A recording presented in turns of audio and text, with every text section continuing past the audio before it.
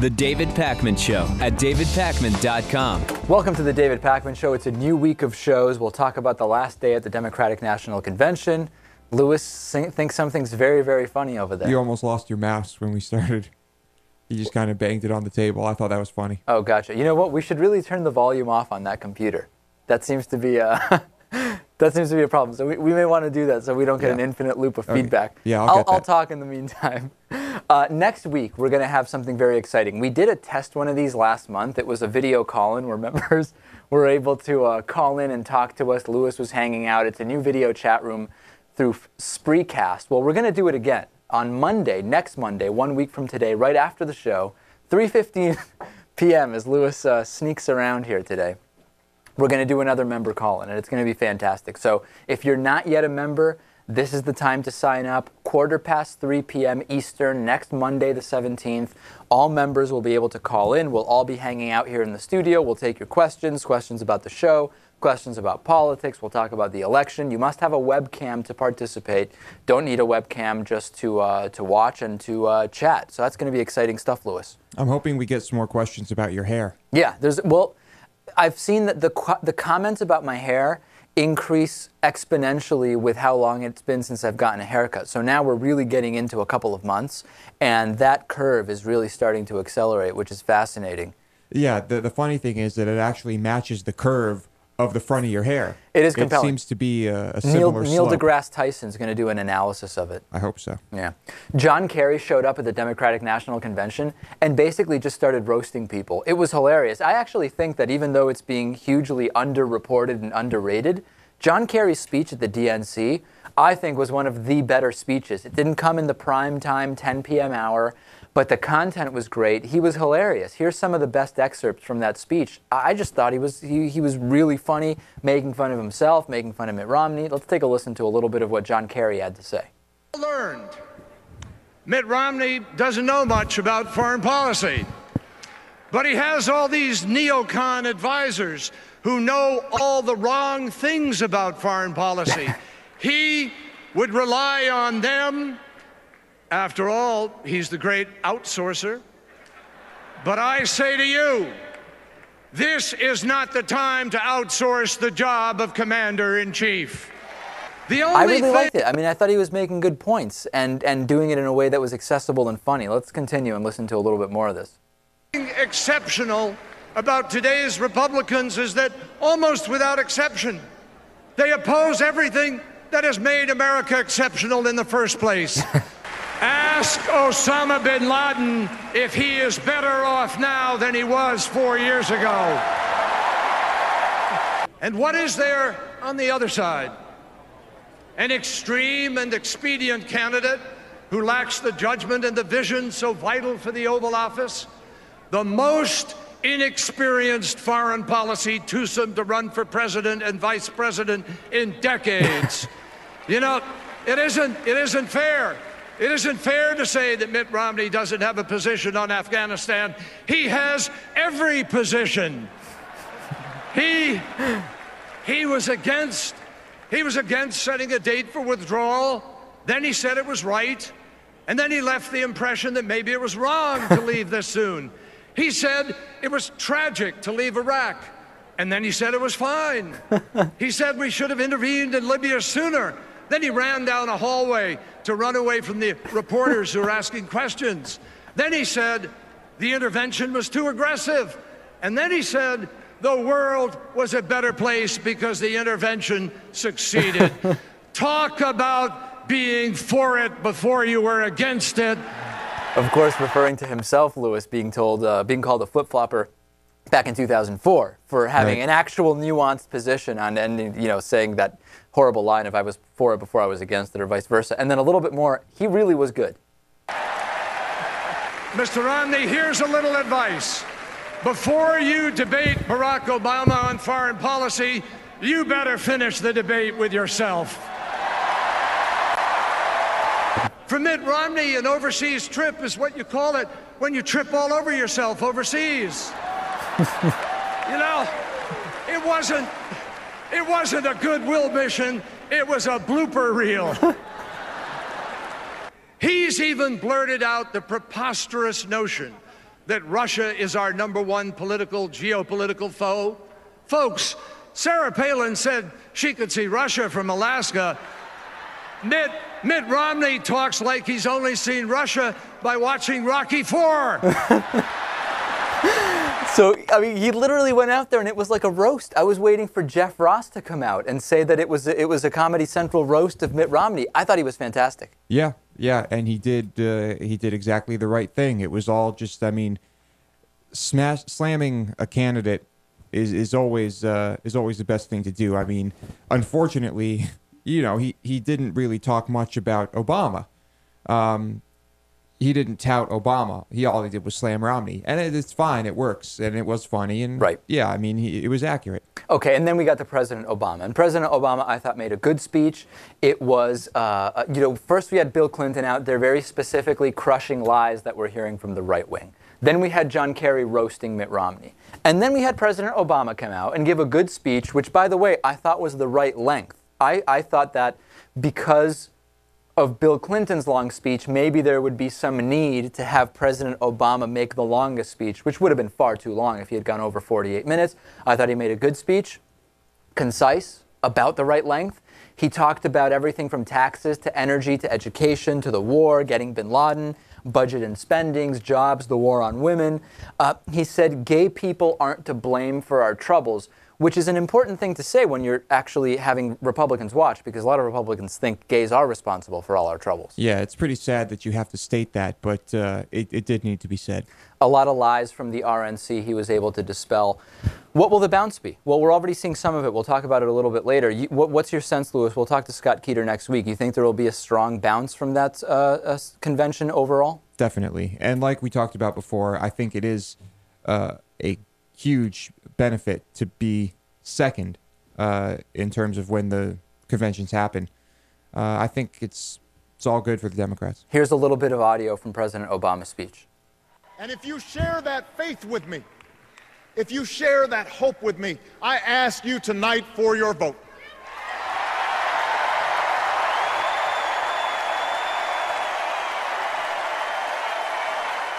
If you reject the notion that this nation's promise is reserved for the few, your voice must be heard in this election.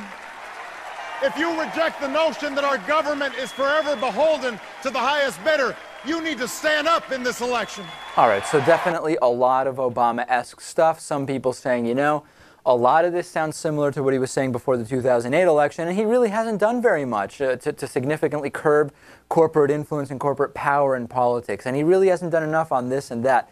And you know what? I completely agree. And at the same time, I'm aware that now we've come to a point where we have two possibilities for who is going to be the next president, and one of them is far worse than the other. And that's why I will be voting for Barack Obama. My ears are not really going to perk up until I hear Obama say three very important words. Do you know what those are? Um, let's see. Read my lips. Campaign finance reform. Oh, okay. All right, I see. Well, listen, um, we'll get back to some of the polling and stuff. A couple other stories I want to talk about. This is an interesting story from over the bre- weekend.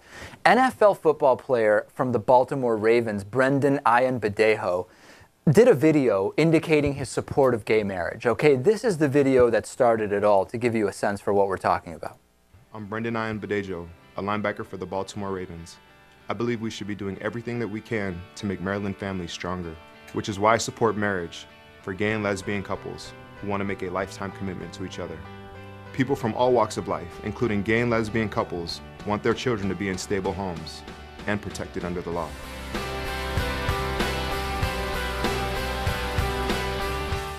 Okay, so very clearly, Marylanders support marriage equality, join us in support, et cetera, et cetera. Not anything even sanctioned, to be clear, because this is relevant for the story. Not anything even sanctioned or promoted by the Baltimore Ravens. So far, so good. That's how it starts, Lewis. Right. Then we get a letter dated August 29th, 2012, addressed to the owner of the Ravens, Steve Bisciotti. Written by a Democrat from the Maryland House of Delegates named Emmett C. Burns Jr., and he writes, I find it inconceivable that one of your players, Mr. Brendon Ayanbadejo, would publicly endorse same sex marriage, specifically as a Ravens football player. Many of my constituents and your supporters are appalled and aghast that a member of the football team would step into this controversial divide and try to sway public opinion. I'm requesting that you take the necessary action as an NFL owner to inhibit such expressions from your employees and that he be ordered to cease and desist such injurious actions. I know of no, one, no other NFL player who has done what Mr. Ayanbadejo is doing. So this is fascinating on a number of levels.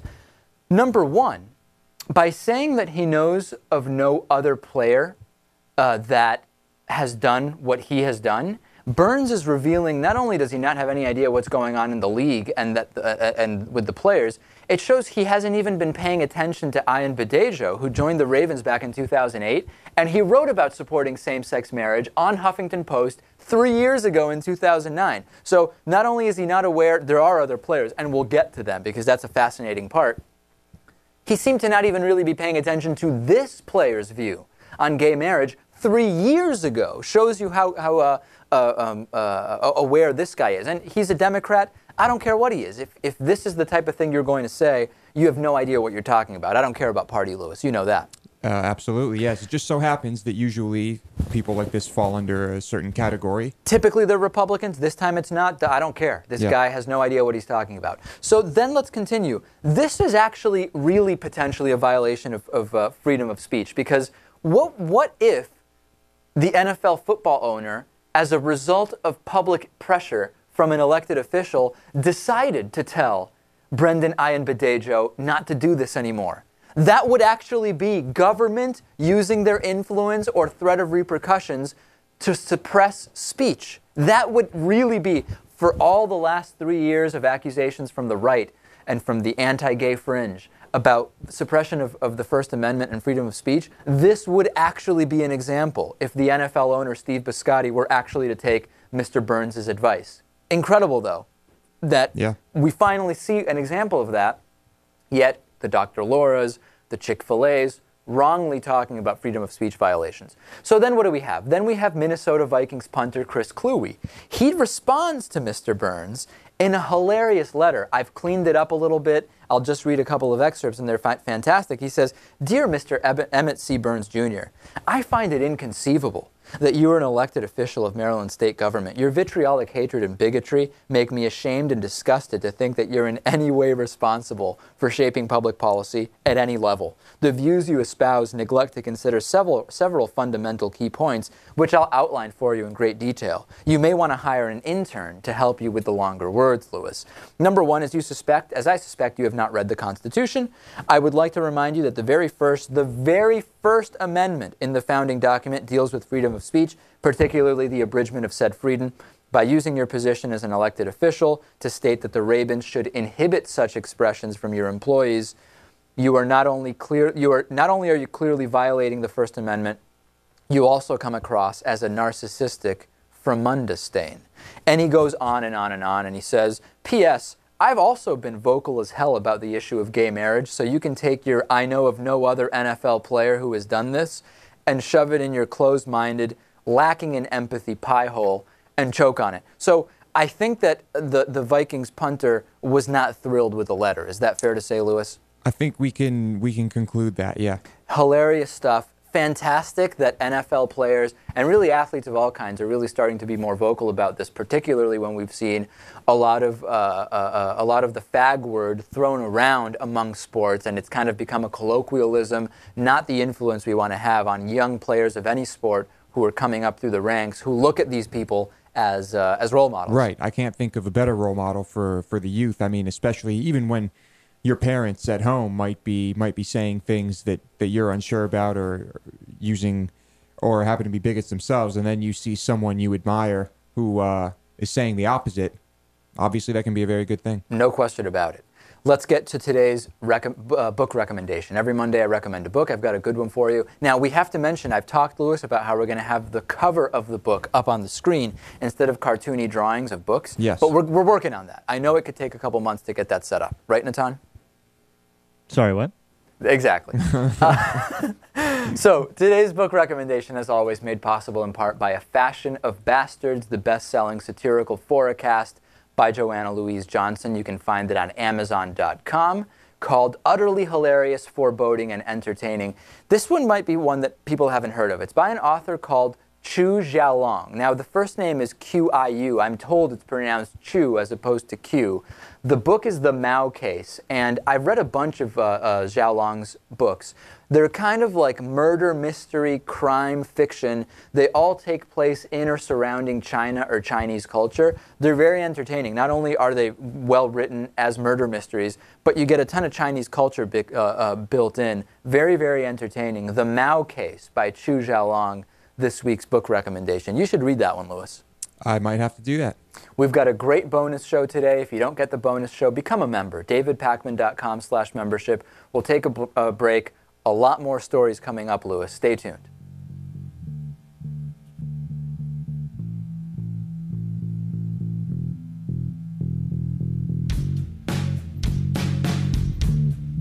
The David Pakman Show at davidpakman.com.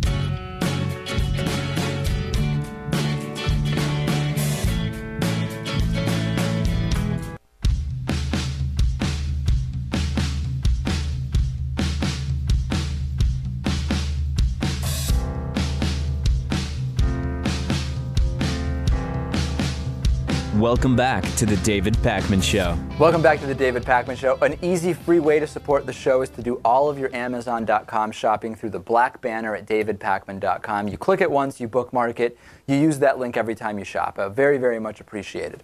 Also, today saying hi to a very special new David Pakman Show member, made possible in part by liberalbias.com. Some people say that conservatives are anti science, but have you ever stopped to think that maybe science itself is anti conservative? You can find out more about that at liberalbias.com. Today's new member of the day, Robert Knight. Robert Knight, who is uh, one of the Knights of the Round Table of Extraordinary Gentlemen. Isn't that right, Lewis? You- You're combining all sorts of things there. Yes, well, that, uh, that happens. Very creative. So thanks very much to Robert Knight and to all new David Pakman Show members. You can sign up on our website, davidpakman.com. Let's talk about a Republican congressional candidate, Danny Tarkanian, running in Nevada, who is accusing a black opponent of only pretending to be black. Now, if you've never heard of congressional candidate Danny Tarkanian, that's okay. Hopefully you never will again. He's running against black Democrat Stephen Horsford, and he's saying Horford is, uh, uh, Horsford is pretending to be black. He says, we could be like Stephen Horsford, who's not doing anything with that community, and you know, pretend we're black and maybe try to get some votes if that's where it is. It's that extent that they're going to. By they, I assume he means black people or Democrats. I don't even know. Uh, or or his opponent's campaign. I, I don't know. In a later interview, Tarkanian fired back saying, um, obviously, or he, he kind of backtracked, obviously, I made an inarticulate statement that is being misconstrued right now. What I meant to say is, it's clear that Mr. Horsford has ignored the community in the time he's been a state senator, and he can't expect to get votes from there. I love it when the apology or the clarification refers to a misunderstanding that's impossible to believe, right? It's like if uh, somebody were to come on the show during an interview and say, David Pakman is a dirty Jew. And then the explanation is, listen, I made an inarticulate comment. It's being misconstrued. What I meant to say is that David Pakman's cooking skills are mediocre at best. And then he said, what, what on earth does that I, I actually think that that is what he meant. Uh, in, in other words, uh, his, his, he- what he said was absurd. Obviously, it's kind of like the Stephen Colbert line. He's judging a person's skin color not by the color of his skin, but by the content of his character. But I think clearly this is what he meant. If you look at the context, he's saying the guy isn't a, a black candidate, meaning a person who's serving the interests of the black community. the, the then the question would be that there why is there an assumption that to be a so-called if in other words if you're a white candidate it's very very rare that people are going to come out and debate whether or not you actually serve white interests. This is only even a topic because the guy is black and there's an assumption from the right that black candidates typically serve the interests of the black people Look, when- and this guy is not even doing that right? I mean it's, many it's narrative- people, including in the black community, called Clinton the first black president for this very reason. That, that has nothing to do with this story, though. It's about calling someone a black politician, bec- not because of their skin color, but because they're serving the interests of the black community. It's the same thing. It's not even really what he's saying, and he's even dancing around it because he's not even he's talking about the black community. He's using euphemisms. He's talking about the community, his community, that that community. Lewis. I understand the point Natan's trying to make. I just think in this case, the combination of the the the uh, uh, uh, shady language that the guy's using to even refer to black people, and the fact that the context is when we have a black Democrat, you have to talk about whether or not they can be trusted to care about anybody other than black people. It's it's a racist structure, is what I'm But pointing out Dave, here. he's clearly, if you look at the context, talking about the black voters shouldn't vote for him because he's not really a candidate that's serving their interests. It's totally obvious. I, I disagree with the, the distinction Natan's trying to draw here. I think it's a good point. I just think in this particular case, you're ignoring the context and the long track record. Lewis, what do you think? I'm not 100% on uh, on what he's trying to say here. It is perfectly possible that he is he is saying what Natan stated, but I know that you're you're trying to make the point that that this statement shouldn't even exist and only exists because of uh, because of a racist uh, I don't know. Undertone. Un- possibly. Let's let's pause on this one because I have a couple other black related stories to talk about. Email me, and let me know what you think. Another story from our friend Lou Giovanni over at the Examiner and the We Survive Bush, You Survive Obama uh, Facebook page. A Republican senator says he doesn't give a rat's ass what black people think. That's a, let's see if we can mince words on this one. Republican Jim Summerville, who's a first-term senator, state senator from Dickson, Tennessee, is joining the chorus of tone deaf conservatives.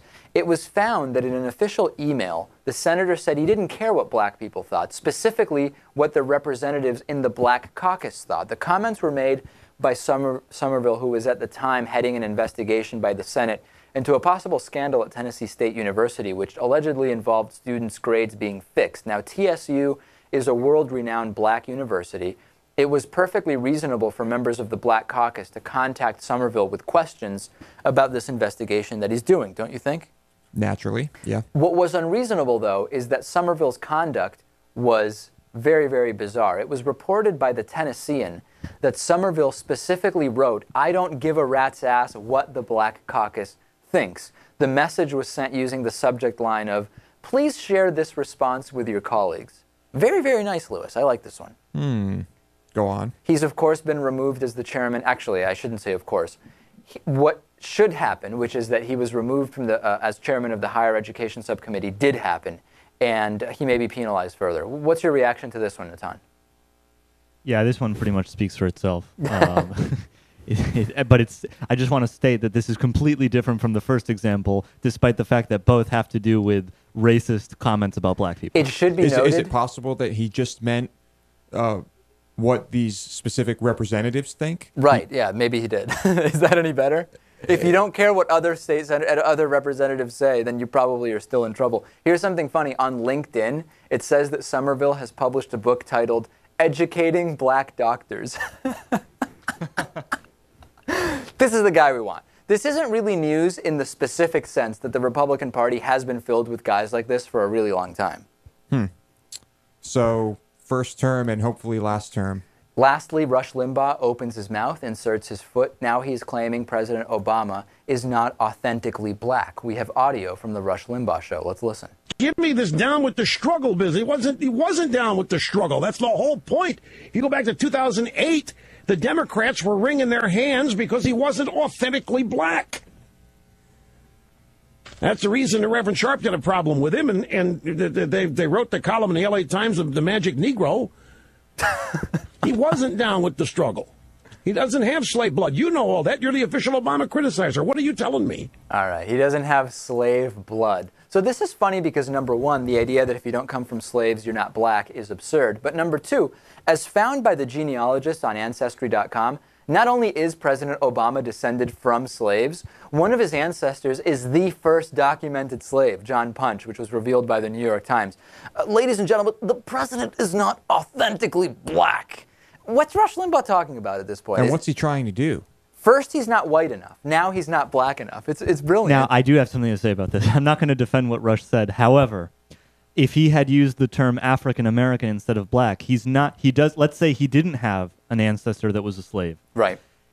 You could make the case he doesn't have the same shared history in his ancestry that other African Americans have. I'm not saying that so that's let's good or clarify. bad or In other words, what. Natan is saying is, if Rush Limbaugh had said something different, and if President Obama's uh, family background was different, No, no, no. It's then there may be something to No, no, no, no. It's Incredible, totally- guys. We're really that. What a great, great You're, statement. n- y- you, you're not seeing the point I'm making. Yeah. It's totally incidental that, in fact, Obama has a slave ancestor. it could have easily not been the case, and that wouldn't made you that wouldn't have made you say anything different just now.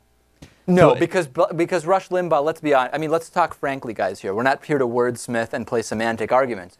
Rush Limbaugh is talking about something else. Rush Limbaugh is talking about what the right stereotype is of someone who is really a black person. Right. That's what's at the bottom of this. Yeah, I think so. Natan. Yeah, however, it was the case that in 2008 during the campaign, there were African Americans who were making the same argument.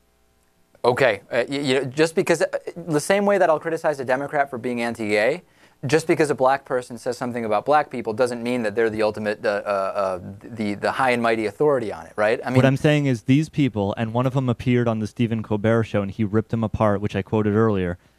This was actually something that some people talked about. He doesn't share our history. He's not like us. He has the same skin color, but he's he doesn't have the same cultural history. I'm not saying that's the case. I'm just saying people said that. Yeah. Ah, okay, In no, reality, I, I he agree does with have the Natan. same history. In reality, he does, and I agree with Natan that some people did say that. That's a, Yeah. that's a statement of fact. And let's just be clear that only Al Sharpton and Jesse Jackson are are the supreme authorities on on if you're authentically black enough. Let's take a break. A lot more stuff to talk about, including new polls, a new David meme image, and uh, you're not going to believe it. What percentage of people, of, of Ohio Republicans, do you think credit Mitt Romney with the Osama bin Laden raid? You'll be surprised. Stay tuned.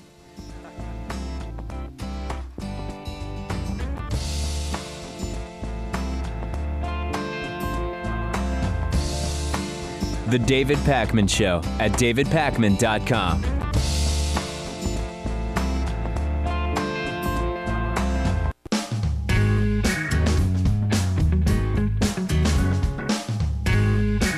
Welcome back to the David Pakman Show. Welcome back to the show. A great free way to support the David Pakman Show. Donate a Twitter or Facebook message to the David Pakman Show through Donate Your Account. Go to donateyouraccount.com slash David Pakman Show.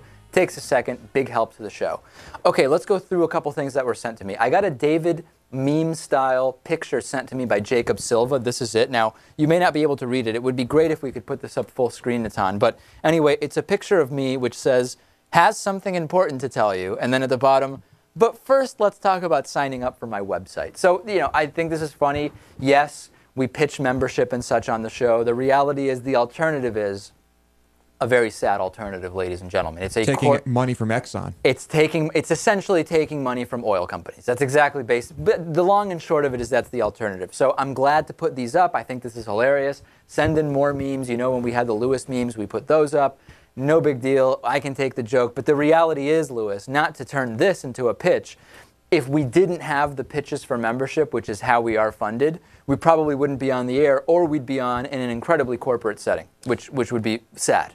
Yeah, um, Jacob, let's just let's just turn the bottom instead of signing up for my website. Just change that to membership program. Exactly, yeah, Yeah. because it's let's at least make it factually accurate. But very, very funny from Jacob Silva. So keep sending these in. Also, Stuart Shea sent one in called David Pony, and I guess let's put that one up on the screen. I guess that's a reference to, is it My Little Pony, Lewis? I guess. Yeah, that's that's it's a cartoon show. Which incredibly, I was hearing on the Howard Stern show that there's a lot of older people who like My Little Pony. They just they love My Little Pony. I don't understand that exactly. I in preparation for the show, I just put it up on YouTube and looked at a couple clips. I'm not finding it that compelling, but you know. It's pretty disturbing. Let's put up now for comparison. Let's put up the picture of Lewis Pony, which we have here as well. There it is. I don't know if Lewis Pony is the guy or if it's the horse, but it's a com- it's a disturbing image, needless to say. I'm pretty sure neither one of those uh, is me in any way, shape, or form. No, it's obviously the horse in the picture that is Lewis Pony. Uh, if you're missing this, if you're just listening, make sure to check it out on uh, on YouTube.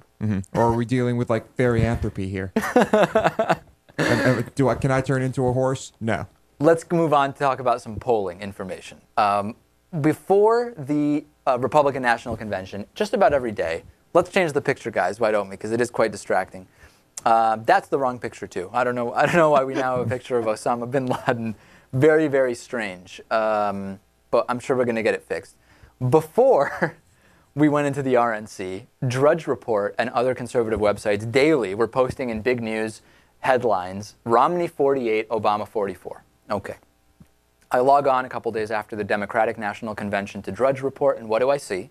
Obama 49, Romney 44. But now we have all of these lines below Louis that say, but Carter was plus four over Reagan, but Michael Dukakis was also plus 17. So now immediately the theme changing on the Republican side from Romney is leading the polls to Obama is leading, but historically we find two examples where it's meaningless. So really, Romney's going to win anyway. Very funny what's going on with the polling, Louis, right now. Yeah, uh, you know I'm not a fan of polls. No, I mean, of course it, it not. Really, nor, nor of voting.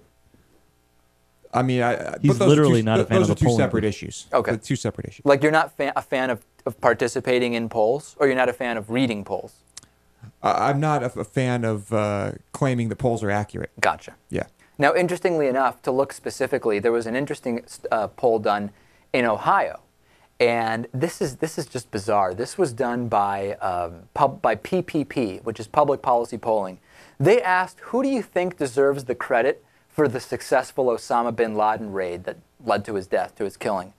15% of Ohio Republicans said that it's actually Mitt Romney that deserves the credit for that raid. Now, I, have, I understand what many of you will say, which is if you give people that option and they're Republicans and they can, mm, they can answer in a way that will just do something negative to Barack Obama, they're going to do it so that it's not really a valid result. What do you guys think of that?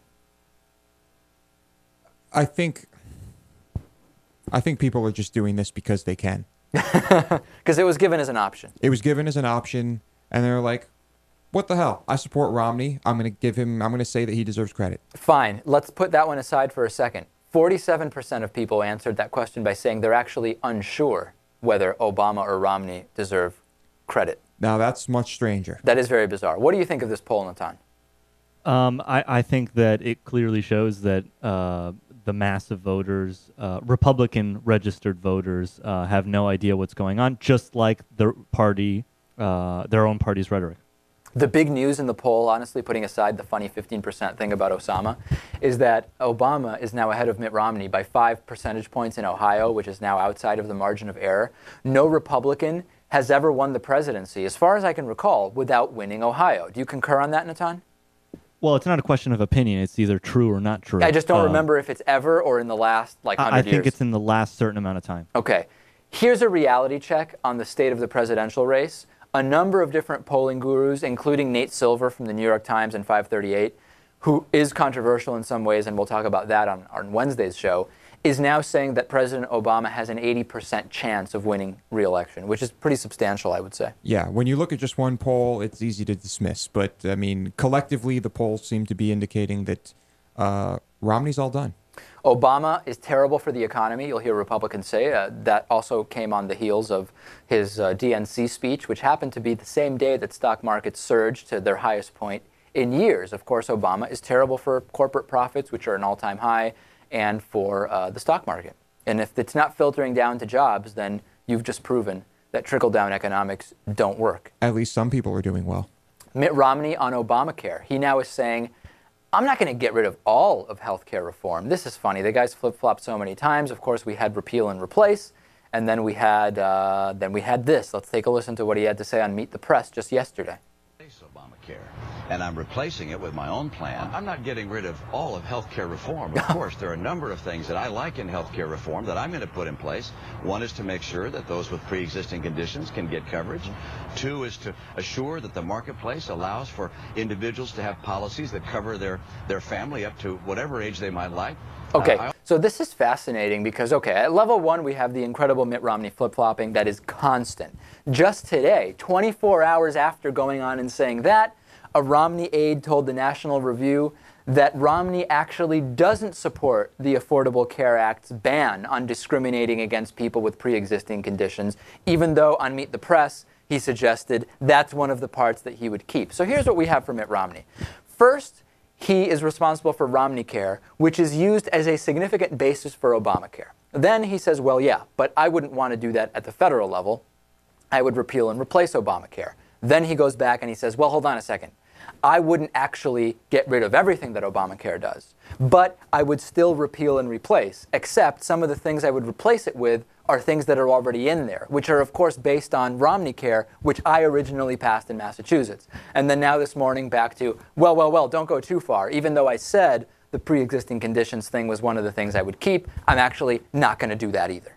Fascinating. He only talks. Uh, the only things he mentions are the things he's going to keep, and Right. those are the things that the population, that the general populace, likes the most about uh, the Affordable Health Care Act. And once it And gets he- enacted, yeah. all these things are going to be liked by the general populace. And it will be impossible to repeal this. I think there's something else to be said about this, which is that if he keeps the pre-existing conditions provision in the law and repeals the mandate, the whole law makes no sense, and No that'll question. result in much higher healthcare costs. Let's talk about it financially. That's a good point, Natan.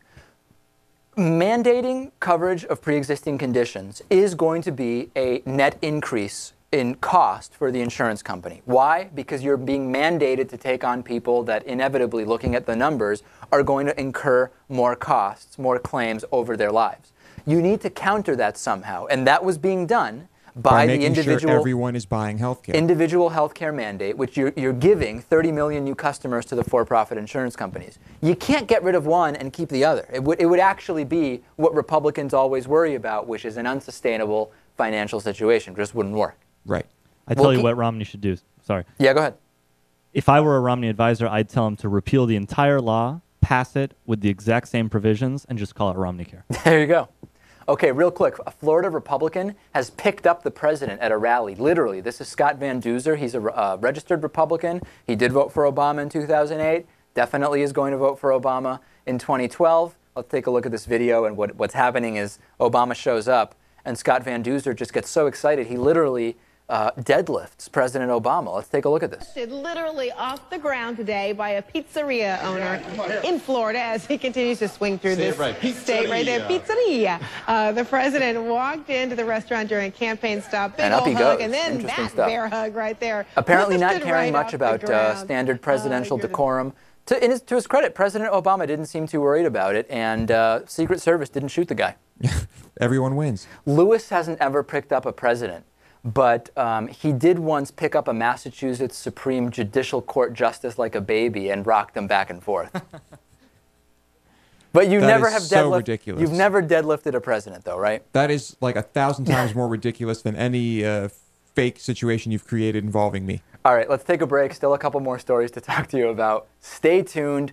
Hi to everyone watching live on YouTube. Of course, we're live on YouTube Monday through Thursday at 2 p.m. Eastern. Tune in, and we'll talk to you after the break. Stay tuned.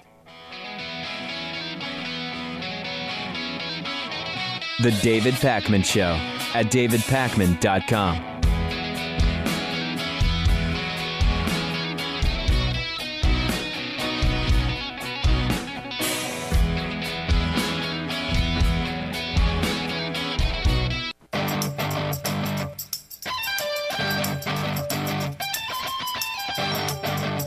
The David Pakman Show at davidpakman.com. Welcome back to the David Pakman Show. The number one way to support the show is by becoming a David Pakman Show member. Instead of being funded by big corporations, we're funded mostly by individual subscribers. You'll get the bonus show, of course, hosted by producer Louis Motamedi. What else do you get, Louis? You'll get our live video member call-ins, which we're having on um, next Monday at 3:15 p.m. Eastern Time.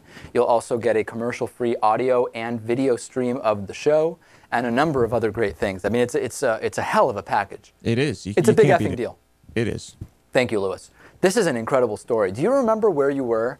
I remember because I was in the same place when the O.J. Simpson double murder verdict was read.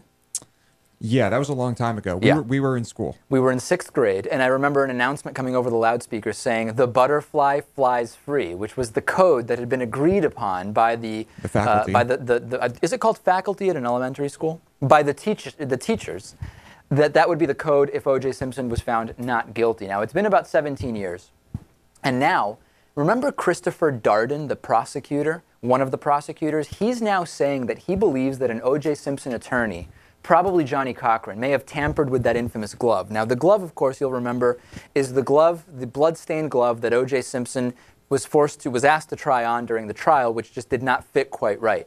Now, Christopher Darden, who was the uh, de- deputy district attorney back during that case, said on a um, on a Pace at a Pace Law School discussion about the trial that he believes Johnnie Cochran had access, that the defense had access to the glove during the lunch hour, and that Johnnie Cochran or someone may have torn the lining in order to make it so that the glove couldn't get all the way on. Now, Alan Dershowitz, who was advising the defense team at the time, came up and said, listen, um, the, uh, uh, the defense does not get access, unsupervised access to evidence like that.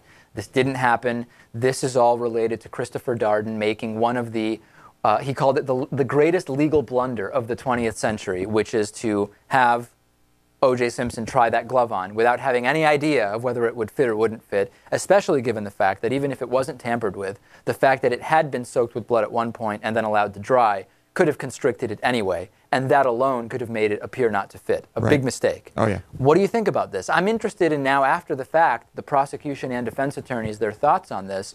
It just doesn't sound that viable. How did the defense team get unsupervised access to the glove and were able to tear it? I don't get it.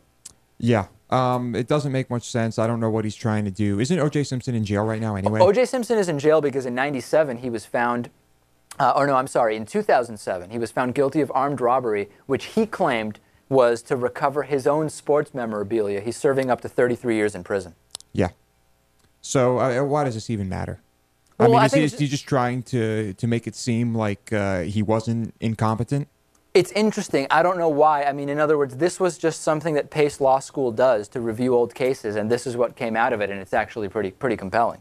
Do you think that there's anything to the theory that the glove was manipulated? No. All right, you've heard it from Louis.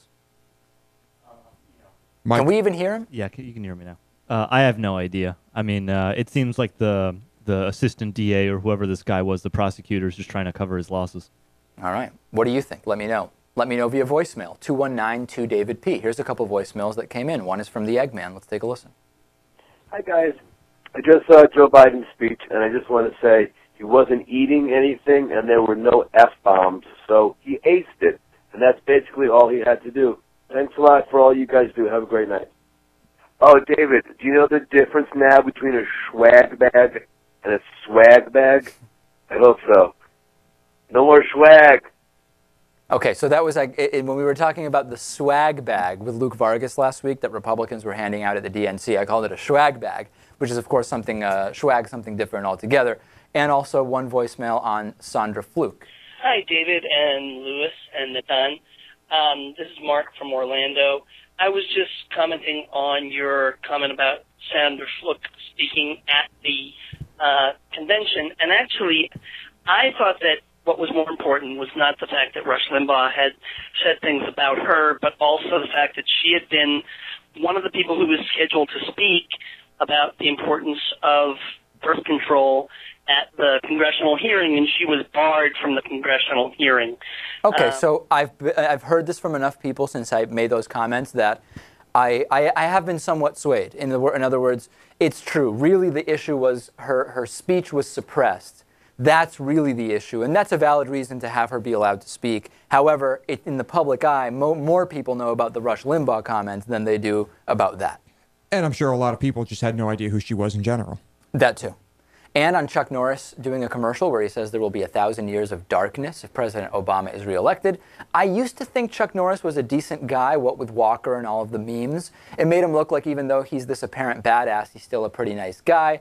I can't look at him the same way, knowing that he's a deluded member of the God Squad who publicly wants to take away his own wife's marital rights Maternal rights. uh, maternal rights. And A Thousand Years of Darkness? That sounds like my experience watching any Chuck Norris film.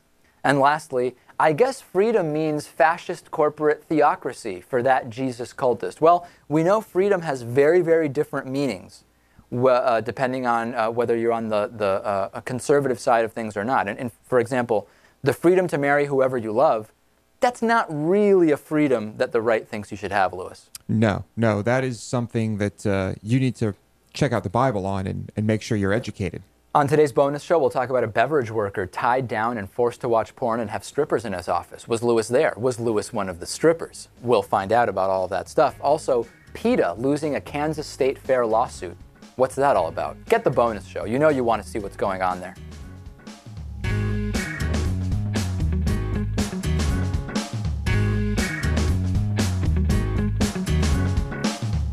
The David Pakman Show at davidpakman.com.